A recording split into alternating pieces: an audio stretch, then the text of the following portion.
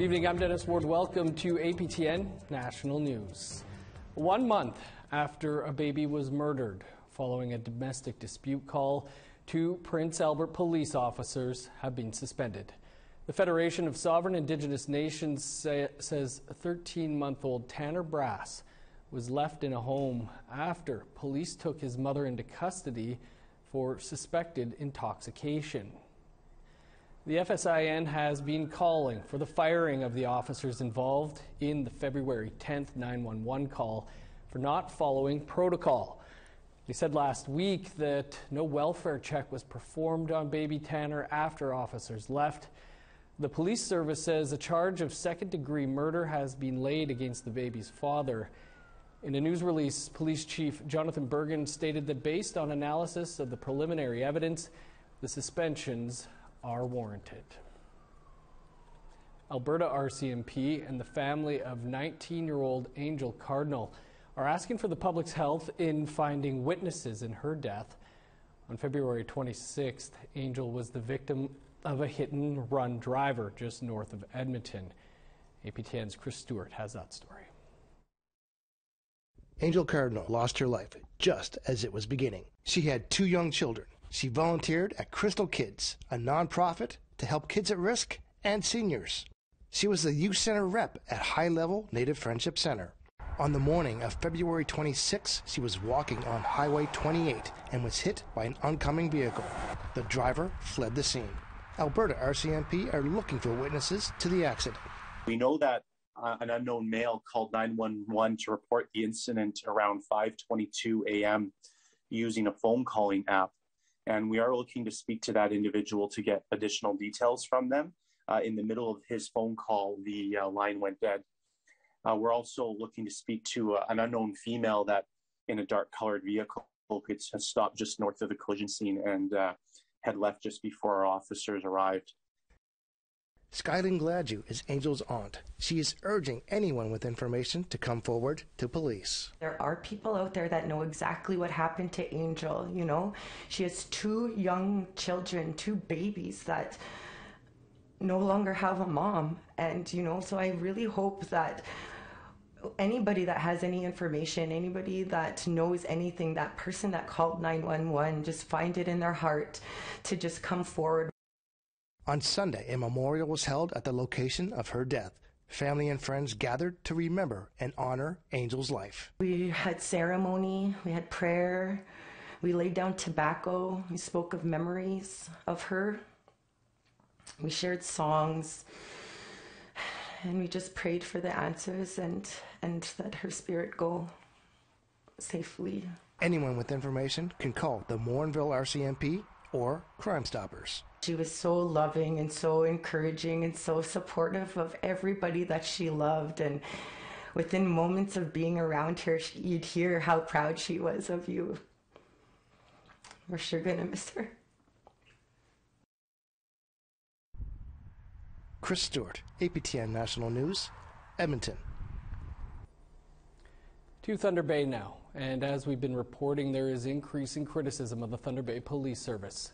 The OPP and the Ontario Special Investigations Unit have announced criminal investigations into members of the service.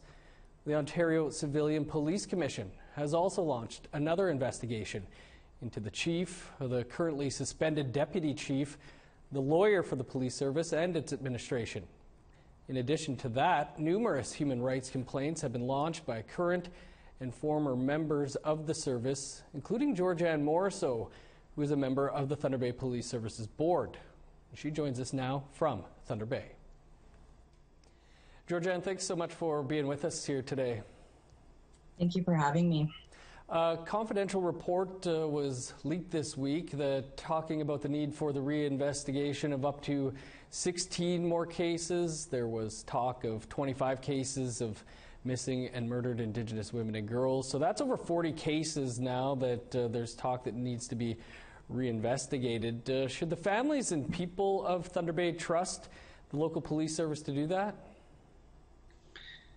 Um, I think under the current circumstances, which um, myself and others have gone above and beyond to try and inform the public on, I would say that I wouldn't be. I think I would be a hypocrite if I were to to suggest or, or state that the, you know, the community at large and the families should put their trust in the current under the current leadership regime, uh, when it comes to you know these reinvestigations, um, but also any any investigations or any operations at, at this point.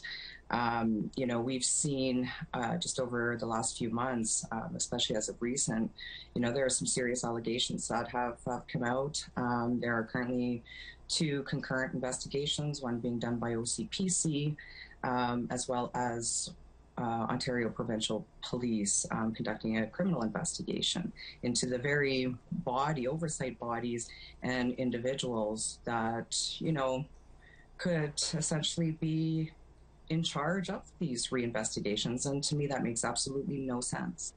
Do you think there should be an apology to these victims' families for how these cases were handled?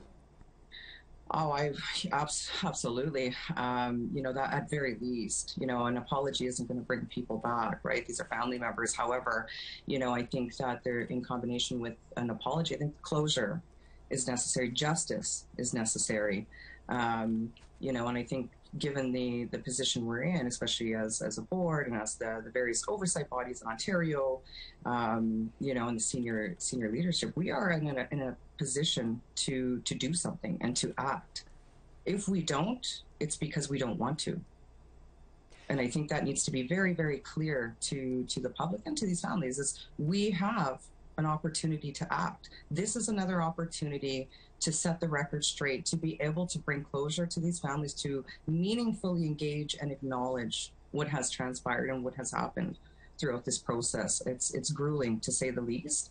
And um, you know, again, just just going back on the, the recent statements coming out and explanations, I just think that you know it's um, it's a slap in the face, to be honest, because I don't think that that's that's appropriate. Uh, Georgjann, as you know, uh, the Deputy Grand Chief of Anishinaabe Nation, Betty Ann Achneepineskum, has added her name to the list of people who believe the Thunder Bay Police Service should be disbanded.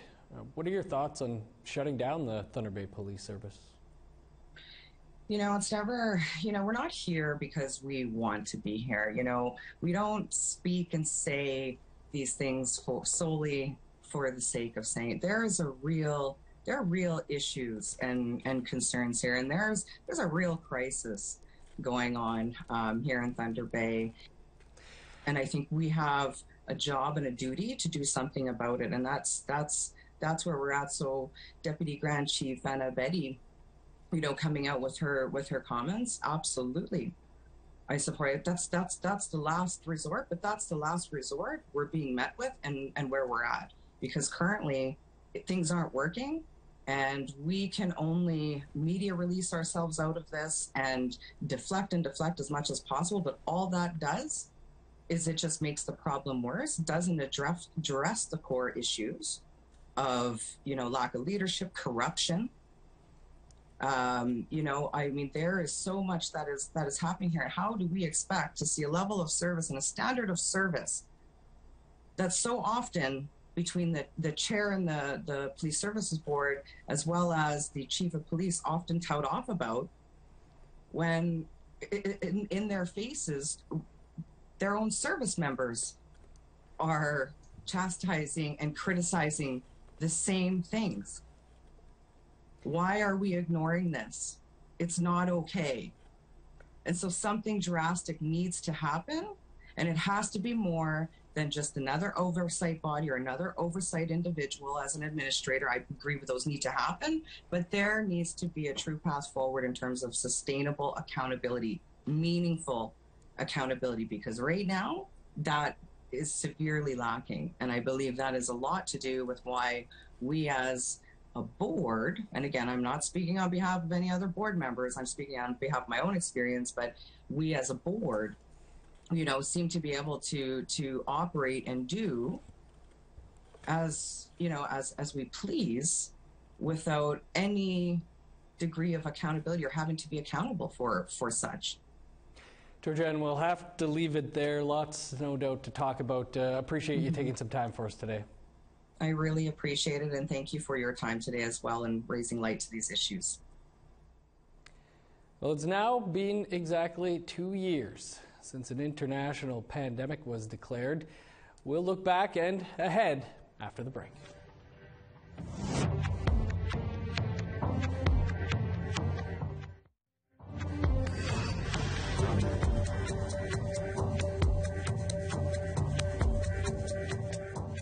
Welcome back.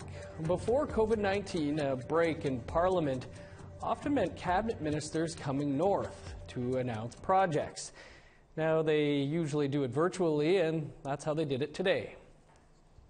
Minister of Northern Affairs Dan Vandal logged on from Manitoba to announce just over $2 million in funding for seven, seven different Nunavut communities. The funding is for local infrastructure. One of the communities to receive funding is Taloyoak, one of Nunavut's most western communities. They will use the money to build a food center and soup kitchen, which the community's mayor says is sorely needed. Well, I can't stress how, how much we need this kitchen here. Um, it'll give us access to a food bank as well. Our employment rate here in Talukuyaq is very low, and uh, it's uh, very, very few jobs here. Well, it's been exactly two years since the World Health Organization declared COVID 19 an international pandemic. With vaccinations on the rise and infections starting to drop, a number of provinces are loosening restrictions. This includes Ontario, where most masking restrictions will be lifted on March 21st. Northern Ontario First Nations are remaining careful. APTN's Fraser Needham reports. Bearskin Lake First Nation was hit hard by the Omicron variant. Declared a state of emergency in early January, infections in the community reached over 50 percent. Chief Lefty Kamenawatamin says things have improved drastically. There are currently no infections. However, he says his community remains cautious. From a community standpoint, uh, for us, anyways, uh, it's too soon. Like, um, like right now, I'm we're still uh, trying to encourage and be diligent, uh, vigilant to get the with mask wearing. Dr. Lloyd Douglas says there are currently 385 active COVID cases across the 31 First Nations served by the Sioux Lookout Health Authority. A majority of those communities remain on lockdown. Dr. Douglas says the pandemic is not you know, over like in the north. For us in the north, the pandemic is not over. Um, when we look at our epidemiological curve, that's the number of cases over time. We are right at the very top of the mountain right now, and we're hoping that it doesn't go higher. We haven't started to come down just yet. We're hoping that we will be coming off that peak. But the truth is that we have several communities that have not yet been hit by Omicron. And we are still concerned about communities with lower vaccine coverage rates. Meanwhile, further south in Ottawa, one of the main organizations that serves the Inuit community says it has been monitoring things closely. Amanda Kilabuk says Tungasuvvingat Inuit will be keeping restrictions in place for the time being. We are basing our decision on what works for us. I can't necessarily comment on um, the province's decision or how they came to that decision. Um, I'm not privy to to those discussions, but um, for TI, um, we we discussed as a management team um, that we will uh, continue to mask until further notice. Ontario says it plans to move toward lifting all COVID 19 restrictions by the end of April. Fraser Needham, APTN National News, Ottawa. Still to come, an exciting new opportunity for Indigenous entrepreneurs. Stick around.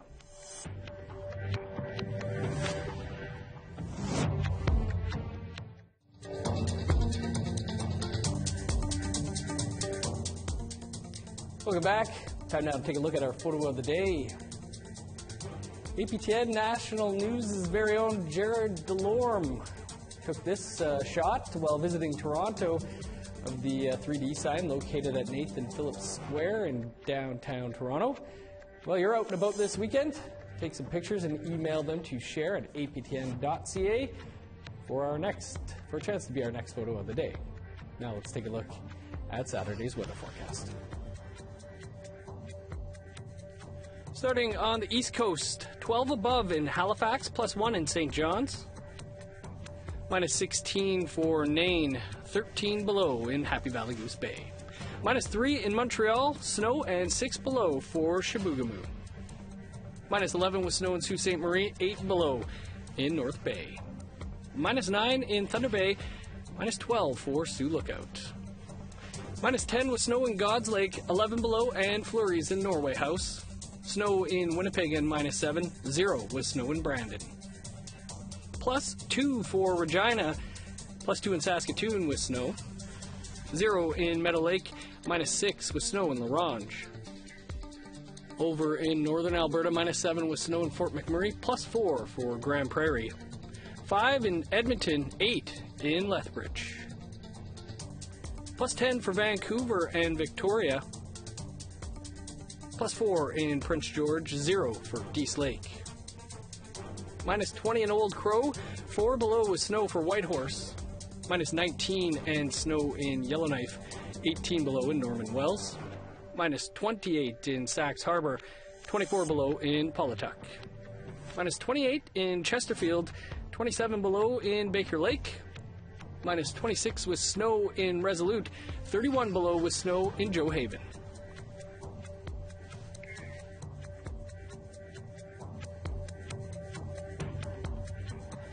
Twenty twenty one was the first year Canada officially recognized September 30th as the National Day of Truth and Reconciliation. Though only federal regulated employees were guaranteed the day off, now, the Yukon is the first province or territory taking steps to make September 30th a holiday for everyone. The territory has launched an online survey for Yukoners and businesses to provide feedback on making September 30th a new general holiday. Employees regulated by the Yukon Employment Standards Act are not currently entitled to the holiday or pay in lieu public input is positive, an amendment would be made to the Act so more employees can observe the day. Community Services Minister Richard Mostyn says reshaping the holiday would make it fair for all. Calls to action. It's important for the people of the territory to to actually come to grips with Uh, our history in Canada, the Manitoba government has also said it will consider making September 30th a statutory holiday for non federally regulated employees. A new TV show that will air on APTN in the fall of 2022 is now shooting episodes that feature entrepreneurs who pitch their businesses to some of Canada's elite Indigenous business leaders. APTN's Tina House explains it's a reality TV with a real impact. Roll Market, Sarah Beth, pre-pitch, episode three, take one. 18 people from all across Canada have flown to Vancouver to Beyond the Bear's Lair. They get the chance to pitch to a panel of judges their businesses. Out of the 18 pitches, six of those will win $10,000. Those six semifinalists will then go on to the final episode where one business will win $100,000. Gina Jackson is the executive producer of the new series Bear's Lair. She says after watching how The Dragon's Den and Shark Tank was, she knew that she could do something more specific to Indigenous businesses. And what's different on her show is that they do not take any ownership of any product.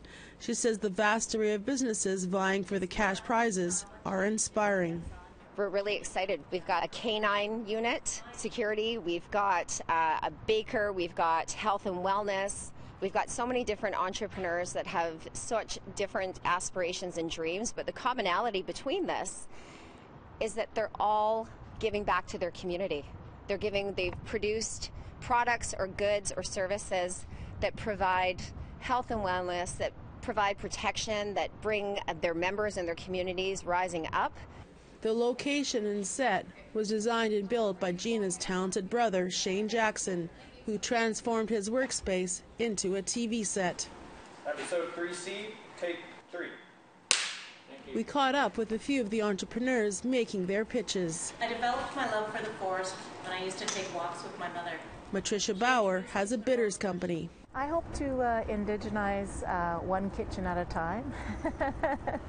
and I'd like to elevate um, bitters to something that isn't just for cocktails or mocktails, but that's also incorporated into tea. So it is a flavor profile, so I'm going to try and make it into like a regular condiment. I fed 1,000 meals to our homeless population. Ali Herbachik is a baker with her own unique style. I do um, creative, unique, artistic um, cakes, cookies, and cupcakes, and I like to do out of the out of the box kind of edible treats. Uh, either use float planes, full planes, or even drones. Uh, Benjamin Fegan and his fiance have found a way to solve food security for remote communities. So we're growing uh, three different categories of foods: uh, fresh produce, which includes leafy greens culinary herbs and some small fruiting crops like cherry tomatoes and fairy tale eggplant. Um, we're intending to be able to distribute throughout all of northwestern Ontario, serving both our roadway and far north communities with specific em- emphasis on our Indigenous community members. Dave Tuccaro is no question one of the top Indigenous businessmen in Canada. His vast array of businesses have brought in millions of dollars in revenue over the years. He says it's about time this type of show was created. A show like this, uh, you know, you got guys like me who've been through the ringer already and uh, understand how to do business with big corporations and small ones. Uh, but we have the experience and we have some knowledge now, and we have, you know, we, we could actually pass that on to some of these younger entrepreneurs coming forward. Another judge is Robert Louie. He has been in business for over 30 years as well. He has some advice for success you've got to find the, uh, the creative ways that you can uh, adapt. Adapt with the environment, uh, uh adapt with regulatory changes, uh, uh, look at the social conscience of the consumers. All of that, I think, plays a part. After the season finale, Bears Lair community members will have four weeks to vote online to award four runner ups to win $5,000 each. And Gina says for those that don't win, there will be continued support ongoing. The show is just a platform. Coming and getting um, information, the bearslairtv.com is going to have information on grants for Indigenous women, for elders, for youth. It's going to be your resource with all our, our fine sponsors um, that have supported this program to, to help out entrepreneurs, and, that, and that's my passion. So this is my why. Tina House, APTN National News, North Vancouver. And cats. Looks like a great show. Excited to see that this fall. Well, that's all the time we have for your APTN National News for this Friday. For news anytime or more on any of the stories you've seen here, visit our website, aptnnews.ca. I'm Dennis Ward. Thanks for tuning in. Have a great night.